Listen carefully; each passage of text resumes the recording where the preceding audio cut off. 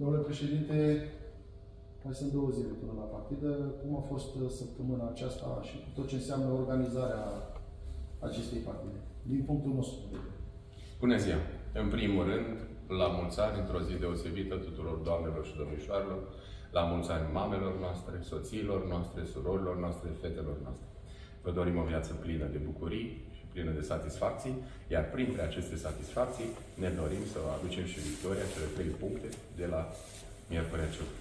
Da, a fost o săptămână interesantă, cu antrenamente intense. Uh, mergem la Miercurea Ciuc să câștigăm, nu avem decât o opțiune, câștigarea celor trei puncte puse în joc.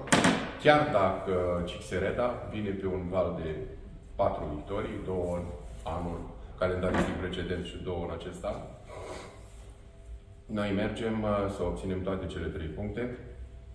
Sperăm ca echipa condusă de domnul Cristi Pustai să învingă echipa condusă de Robert Ilieș. Din ce informații aveți, sunt jucători absenți? Nu, la această oră nu avem indisponibilități.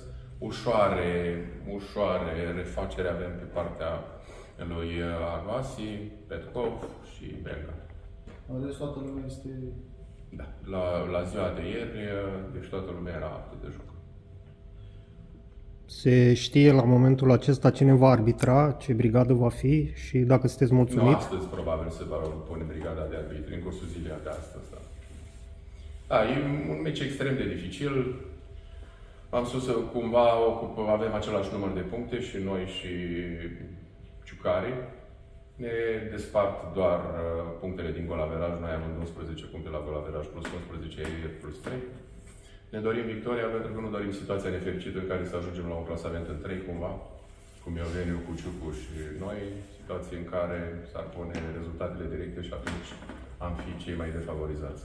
Idealul pentru noi ar fi ca Meoveniu să facă egal cu CSA Steaua, eventual și cu Slatina în ultima etapă, iar noi, așa cum uh, mi-am dorit de la început și cum am declarat de la început, am încredere în băieți că vor obține cele trei puncte și la Miercurea și aici pe teren propriu, iar după meciul cu Sparta, după ce vom fi siguri că suntem în play-off, vom face o fiesta nemțeană. Uh, poate în anii trecuți, când erați la FC Botoșani, ați mai cerut arbitrii sau uh, arbitrii nu da, înțeleg, ca nume, uh, dacă uh, am făcut răspunsul primit, primit de la Federație a fost cel așteptat în anii trecuți. Am uh, făcut o adresă, după cum bine se știe, probabil că suporterii noștri au citit în ziarul de Liga a doua sau poate în alte publicații media. Am făcut o adresă pe care am depus-o atât la Camera Centrală de Arbitri, cât și la Federația Română de Fotbal, în atenția domnului președinte Răzvan Borleanu și a domnului președinte Chirios Pasaras. Ne-au încurajat să facem această adresă. Evident, noi am solicitat arbitru FIFA, măcar arbitru de Liga 1 așteptăm rezultatul. N-aș putea spune cu certitudine că au existat precedente în care s-au alocat arbitrii în funcție de cererea tuturor echipelor, tuturor echipelor care și-au dorit acest lucru. Pentru că în situația în care Cred că a fost chiar o situație în care arbitrul Găman a fost delegat, ca arbitru de Liga 1 a fost delegat la, o, la un meci de Liga a doua, în, acum 2 ani, dacă nu mă înșel. Da, și de atunci după cum m-ați întrebat de la FC Botoșan, chiar dacă am solicitat o brigadă superioară, uh, nu a fost rezolvat acest uh, aspect. Dar uh, în cazul nostru, ținând cont de importanța meciului și pentru respectarea integrității competiției, sperăm ca atât cei de la Camera Centrală de Arbitri, cât și Federația Română de Fotbal să țină cont de această dorință a noastră. Este în interesul fotbalului, este în interesul ambelor echipe. Uh, Tudor, este o presiune în plus uh, pe umerii voștri ca echipă, având în vedere calculele expuse mai devreme, adică nevoia de o victorie la Ciuc pentru a fi uh, pentru a rămâne cu șanse mari să ne calificăm în play-off? în primul rând, da, vă dați seama, este un meci dificil. Mergem acolo doar să luăm cele trei puncte și să venim victorioși acasă. Uh, cum uh, consider că este această echipă a Ciucului? Este o echipă agresivă, mai ales că joacă și acasă, dar nu ne temem și mergem să luăm cele trei puncte, cum am spus. Uh, Se anunță cel puțin două autocare de suporteri uh, să vină la uh, Duminica la Ciuc. Uh, Cum ți se pare atmosfera creată de ai noștri pe stadioane? Pentru că au fost peste tot. Da, seama, este un, cum să zic, un obicei frumos ca să vină să ne susțină, să, să jucăm și noi mai bine, să ne vină de la spate și ei și așteptăm un număr cât mai mare. Acel? Nu. N-ai cum sunt calculele și dacă într-adevăr este presiune în plus această nevoie de, de victorie. Bună ziua, în primul rând, calculele sunt foarte simple. Mergem să luăm 3 puncte și la Ciuc, avem nevoie și de cele de la Ciuc și de cele de acasă pentru a ne asigura 100% accederea în play-off.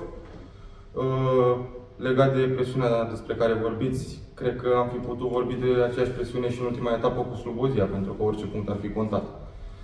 Și la Slobozia și în alte partide. Deci nu cred neapărat că e o presiune în plus.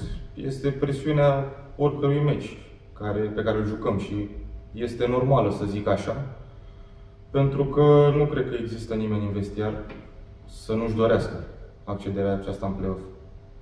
Uh, Faptul că jucăm pe un teren bun la Miercurea Ciuc este un avantaj pentru, pentru echipa noastră?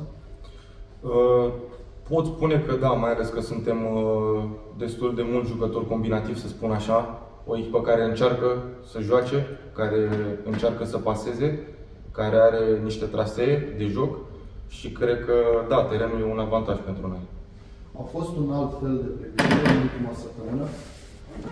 O altfel de O pregătire. altfel de pregătire în sensul de, eu știu, un plus de discuții legate de acest meci, un plus de Nu. alt gen Nu, de discuțiile le informații avem expuse uh, pentru înainte voi. de fiecare meci. Noi știm uh, importanța meciului de duminică, știm ce avem de făcut, nu există nimic suplimentar, ne pregătim ca la oricare alt meci să luăm 3 puncte, să mergem să câștigăm, să facem cel mai bun joc al nostru.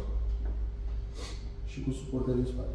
Și cu suporteri în spate, evident. Eu am declarat acum câteva zile, noi îi așteptăm indiferent de stadion, de loc, de oră, de vreme, de orice alt aspect referitor la lipsa lor sau nu neapărat lipsa lor, cât că nu sunt cât ne-am fi dorit noi să fie. Dar uh, dacă privim un pic uh, prima parte a campionatului, să spun așa, nu mi-aduc aminte un meci unde am fi jucat fără suporteri. Sper să nu greșesc, dar nu mi-aduc aminte. Nu, n-a fost. Uh, ai uh, experiența la nivel de Liga 3. Uh, ai trecut prin uh, play-off-ul și barajul de anul trecut. Uh, este ceva diferit în momentul ăsta sau uh, lucrurile sunt, uh, din punctul tău de vedere, la fel? Ca, Este, tot așa, ca presiune, context și toate... este puțin diferit. Vedeți, Liga 2 e, sau teoretic ar trebui să fie mult mai grea decât Liga 3 cel puțin, doar că, după cum bine știți, anul ăsta sunt echipe multe fără drept de promovare. Discuțiile se pun un pic diferit față de Liga 3, unde probabil acum pe vremea asta, acum un an pe vremea asta, nu eram nici în play Visam Acum. să începem... Și traseul de accedere e mai dificil. Da. Traseul, da, e mult mai dificil și acum, după cum bine știți, suntem pe o poziție de play Da, Suntem doar la mâna noastră. da. Deci pot spune că nu sunt aceleași date de problemă. Nu. Uh, cum ai caracterizat Ciucul? Ca și echipă? Și eu, Ca echipă, și, eu știu, poate ai văzut niște meciuri, poate ai urmărit ceva imagini. am urmărit, da, și mi se pare o echipă destul de puternică în jocurile de acasă, mi se pare o echipă destul de arțăgoasă, de agresivă, dar în același timp au și minusurile lor. Mi se pare o echipă destul de lentă pe fază de construcție. Uh, Poate și pe tranziția negativă suferă un pic, mai ales că noi în față avem jucători de viteză și care pot face diferența în orice moment.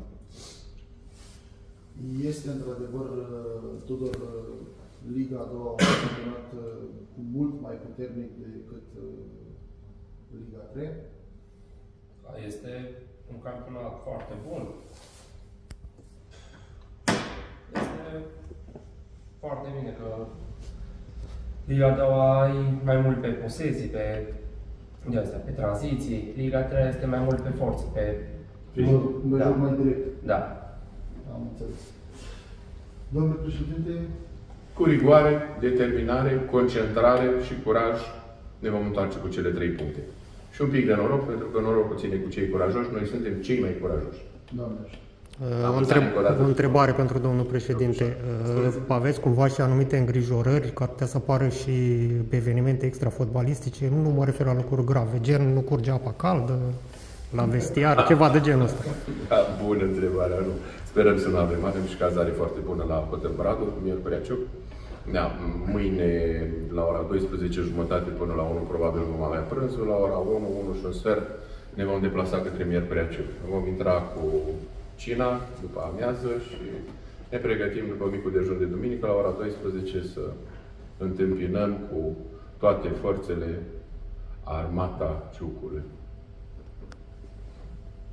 Nu, nu mă aștept la nicio surpriză neplăcută din partea organizatorilor. Suntem profesioniști cu toți. Trebuie să ne respectăm reciproc. Mulțumim frumos! Și noi vă mulțumim.